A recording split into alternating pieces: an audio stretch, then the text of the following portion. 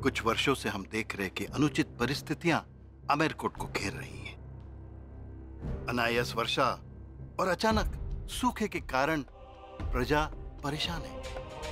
इसमें कोई दो राय नहीं कि आपने विकट परिस्थितियों में प्रजा की रक्षा की है। हम चाहते हैं कि इस वर्ष आप एक यज्ञ करें। इस यज्ञ को कहते हैं सुहागन का महायज्ञ।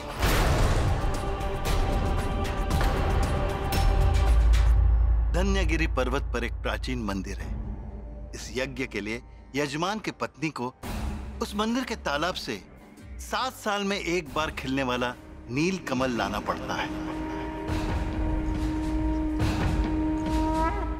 ये नील कमल कुलदेवी के चरणों में अर्पित करने के बाद ही ये यज्ञ आरंभ हो सकता है। ये यज्ञ सुहागन की ओर से अपने पति के जीवन की शांति के लिए प्रार्थना है। और अगर राजा के जीवन में शांति रहेगी तभी राज्य में भी शांति रहेगी। अगर बात आमिरकोट की शांति की है तो ये यज्ञ ज़रूर होगा। आप तैयारियाँ शुरू कीजिए। माफ़ कीजिएगा। ये यज्ञ केवल रानी गायत्री जी ही करवा सकती हैं।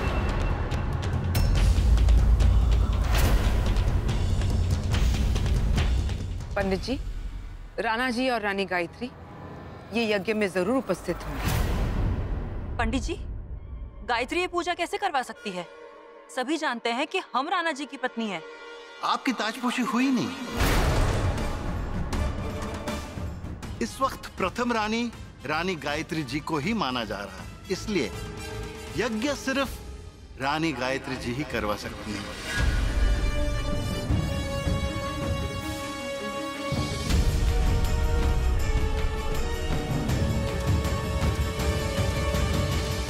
अगर आपकी यही इच्छा है तो ये यज्ञ मैं ज़रूर करूँ ज़रूर करूँ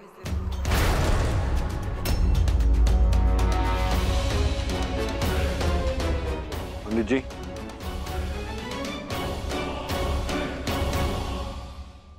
सावरिया।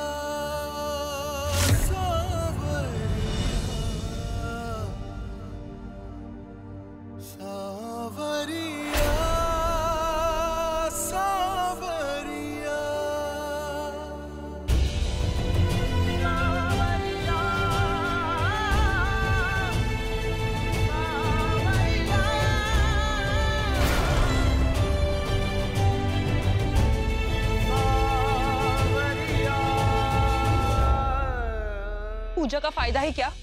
अगर हम राणा जी के साथ बैठ ही ना पाए तो? अपने नन्हे से दिमाग पे ज़्यादा ज़ोर मत डाल। ये खेल हमने रचा है। और इसमें दोनों तरफ़ की चालें भी हम ही चल रहे हैं। तो हमें तो कोई इस खेल में हरा नहीं सकता। स्वयं भगवान भी नहीं। इस सुहागन के महायज्ञ के बाद तुझ पर महासुहागन का ठप्पा लग जाएगा। और सुहागन से रानी बनने का सफ़र ज़्यादा मुश्किल नहीं। प्रियमवदा ने तुझे घोड़ी का ताज पहनाया था ना? अब हम दिखाएँगे उसे कि ये घोड़ी दौड़ में कैसे जीतती है।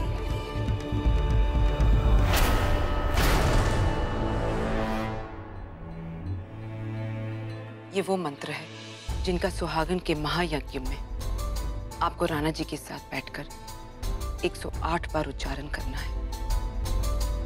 इन्हें आपको याद करना होगा, रानी। याद वो किया जाता है जो भूल गए हो राजमाता। जिस दिन मैं इस महल की बहू बनी थी, उस दिन से इस महल की हर परंपरा को मैंने अपने दिल में बसा लिया था। ये मंत्र तो मेरे मन पर अंकित है। इन्हें बोलने के लिए मुझे किसी किताब की कोई ज़रूरत नहीं।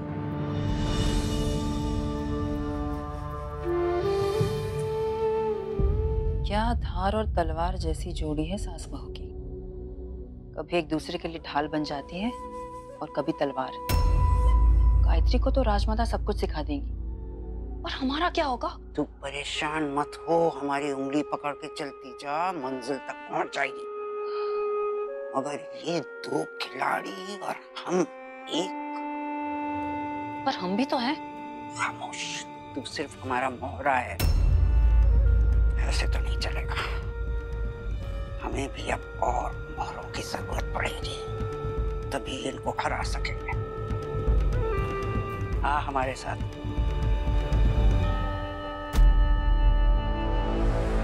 हमें पहले से ही पता था। हमारा मन हमसे बार बार यही कह रहा था कि इस महल में जितना भी कमीनापन हो रहा है, ये आपके अलावा और कोई नहीं कर सकता, बड़ी रानी माँ। पर हमें इस बात का अफसोस हो रहा है कि आपने हमें कुछ नहीं बताया। क्या आपको अपने खून पर भरोसा नहीं है? पर बड़ी रानी माँ, कम से कम पहले तो बता दिया होता हमें। हम खामखा इस चुड़ैल से डर रहे थे। ये तो आपके आँख की कठपुतली निकली। हम यहाँ की होने वाली रानी हैं। आवाज़ नीचे। वरना तुम्हारी आँख में कटार डालकर तुम्हें रानी से कानी बना देंगे हम। वो हम पर कटार उठाएगी। हाँ उठाएँगे। अरे हाथ तो लगा के दिखा तेरी आँखें ना नोच लूँ मेरा नाम रागेश्वरी नहीं। हम तुम्हारा किला अभी फतेह कर लेंगे। करके दिखाओ। चुप चुप।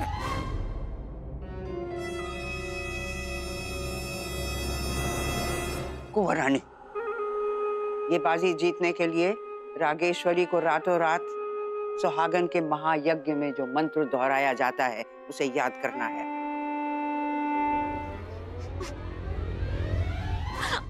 रानी माँ इन्हें अपने पिताजी का नाम तो याद नहीं होता। इतना बड़ा मंत्र कैसे याद करेंगी? ये आप कराएँगी।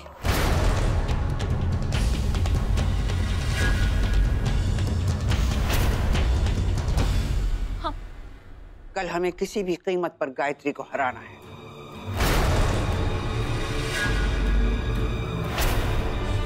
और याद रखिए आमेर कोट पे हमारा राज तभी होगा जब रागेश्वरी रानी बनेगी।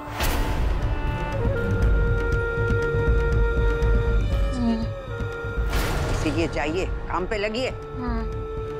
चले किला फतेह करने। चुप रहो चलो।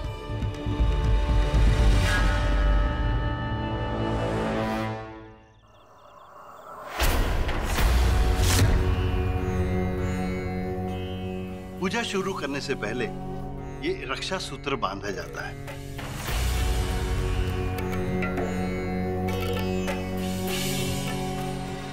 ये मैं क्या देख रहा हूँ? आप सुहागन का महायज्ञ करने जा रही है और आपने सुहाग की एक भी निशानी नहीं पहनी।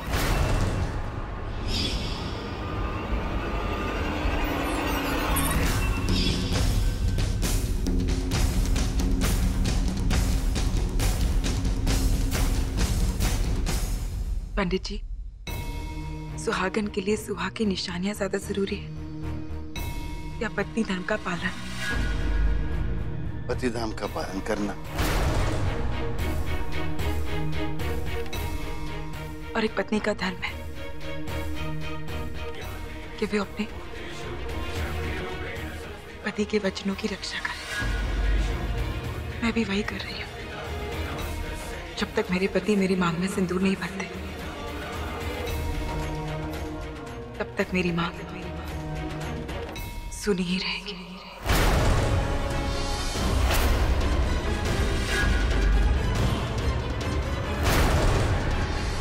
नहीं, पर मैं संकल्प का धागा सूनी कलाई पर नहीं बाँध सकता। भोर होते ही आपको प्राचीन मंदिर से नीलकमल लाने के लिए प्रस्थान करना है। और उस यात्रा पर आप सूनी कलाई लेकर नहीं जा सकती।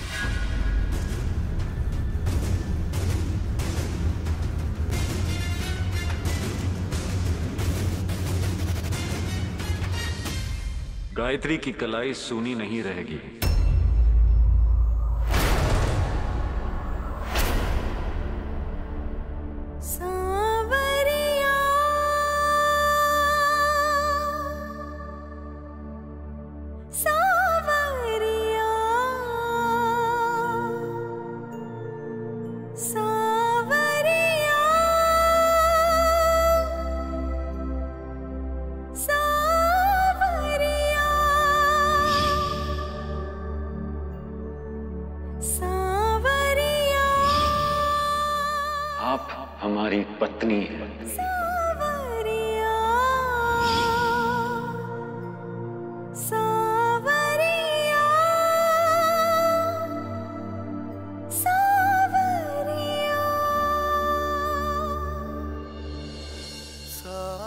हमने आपकी कलाई थाम नहीं रखी, पर छोड़ी भी नहीं गायत्री। आपकी जिद, हमारा गुस्सा, आपकी खामोशी, हमारी बेचैनी, कुछ भी हमारे प्यार से बड़ा नहीं है। हम कभी आपको अपने से दूर नहीं जाने देंगे। मैं भी आपसे कभी दूर नहीं जाऊँगी। कभी नहीं।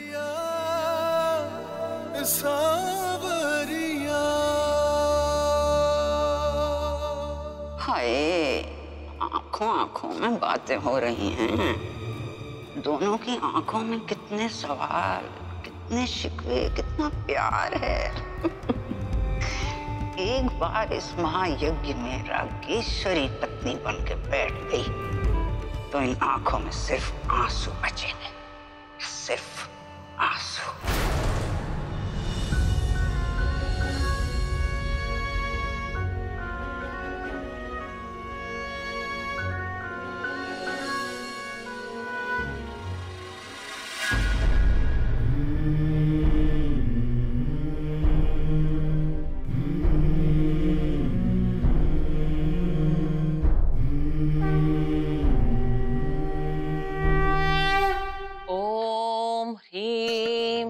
योगिनी योगिनी योगेश्वरी योग भरम करी सकल सर्वा। जन्मस्य मुखहृदयं मम वसम् आकर्ष्य आकर्ष्यं नमः।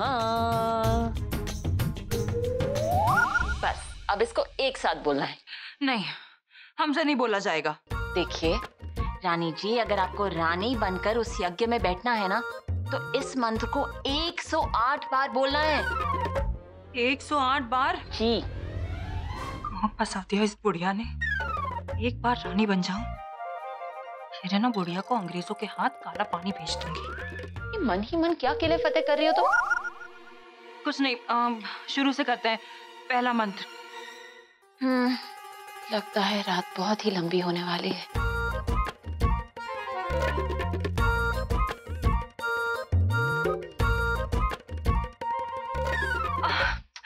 बस। हम रानी है कोई तोता नहीं कि बस रटते ही जाएँ। कुछ देर सुस्ता लेने दो। हम अभी आते हैं।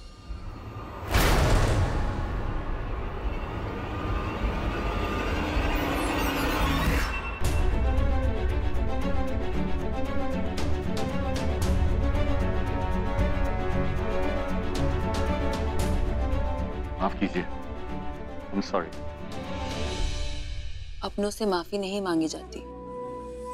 अपनों पर तो हक जताया जाता है, राणा जी।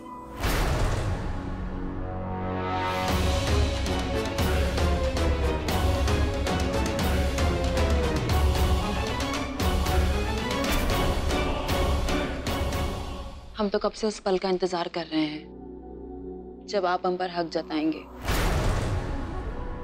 हमारे पास आएँगे, हमें अपनी बाहों में लेंगे। प्यार का क्या है राणा जी? जंगली पौधा है, कहीं भी उग जाता है। जैसे चाँद उगता है। आप हमारे चाँद हैं राणा जी। हमें आपकी चांदनी बनने दीजिए।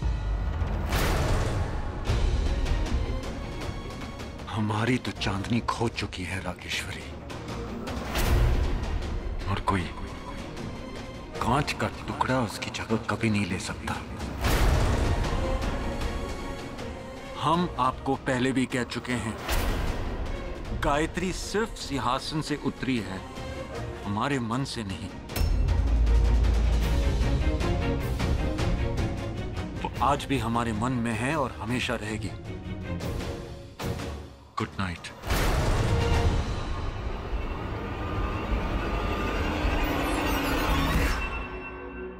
हाय, वो मर्द ही क्या जो आसानी से काबू में आ जाए? मज़ा तो बेलगाम घोड़े को काबू करने में ही आता है। राणा जी, हमारा वादा है आपसे।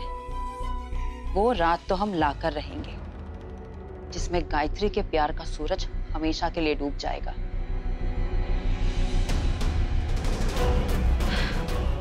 ये सुहाग का महायज्ञ हो जाने दीजिए बस। उसके बाद सुहागरात तो हम ही मनाएँगे।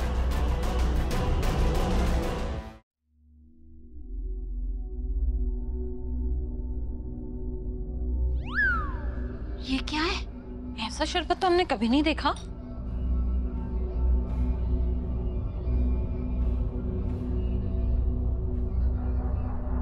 हमारा खास शरबत है। पीकर तो देखो।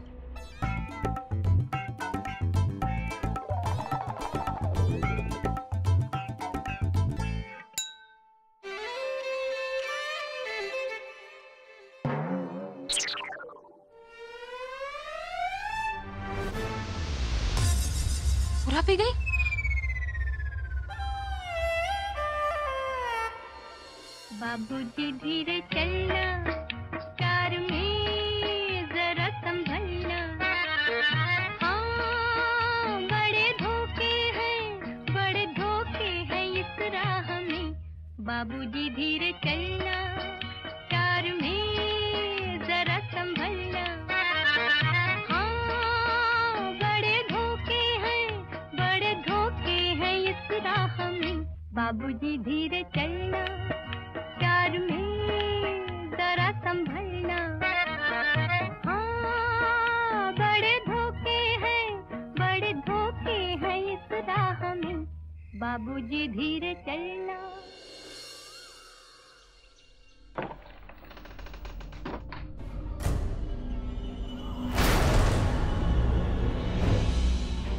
कई भैंस पानी में।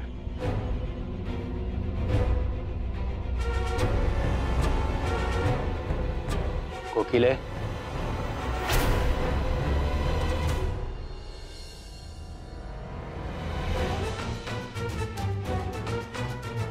रागेश्वरी। रागेश्वरी।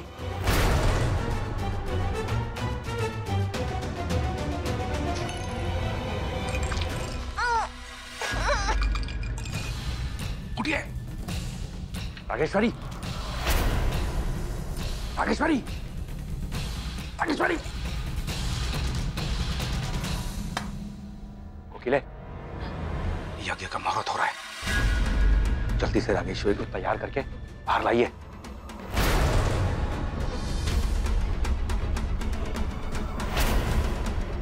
आपने रागेश्वरी को मंत्र याद करा दिया है। जी जी। जल्दी कीजिए।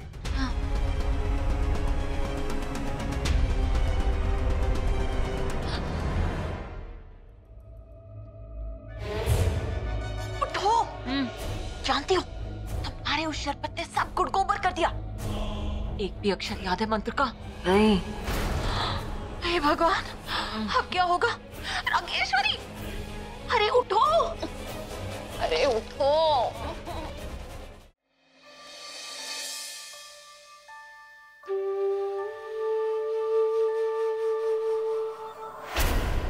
रानी गायत्री महादेव की असीम अनुकंपा है। कि महासुहागन के यज्ञ में राणा जी के साथ वही सुहागन बैठेगी जिसको उनके साथ बैठने का अधिकार है। हमें आपकी मदद चाहिए। कहिए ना बड़ी रानी मैम। जिस प्राचीन मंदिर में आप महासुहागन यज्ञ के लिए देवी को चढ़ाने वाला नील कमल लेने जा रही हैं ना? हमारा विवाह उसी प्राचीन मंदिर में हुआ था। और उसके बाद हमारा अपमान ही अपमान हुआ। और हम भगवान से नाराज़ हो गए। और हमने तय कर लिया कि हम कभी उस मंदिर में नहीं जाएँगे। लेकिन जीवन की संध्या है। सबसे क्षमा याचना करना चाहते अब ये बर्फ़ अपने पानी में घुलने जा रही है, गायत्री। उससे पहले हम उस प्राचीन मंदिर में जाकर भगवान से क्षमा याचना करना चाहते हैं। उस मंदिर की सीढ़ियों पर हमारे अहंकार के धब्बे हैं, जिन्हें हम अपने आंसुओं से धो देना चाहते हैं। आप हमें उस प्राचीन मंदिर में ले चलेंगी। जी, बड़ी रानी माँ, आप तैयार रहिएगा। हम साथ चलेंगे।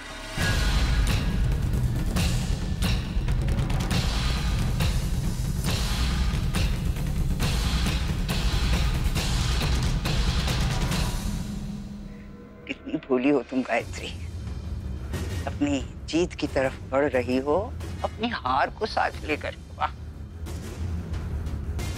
तो सुनो, तुम कभी इस हवन में नहीं बैठ पाओगी।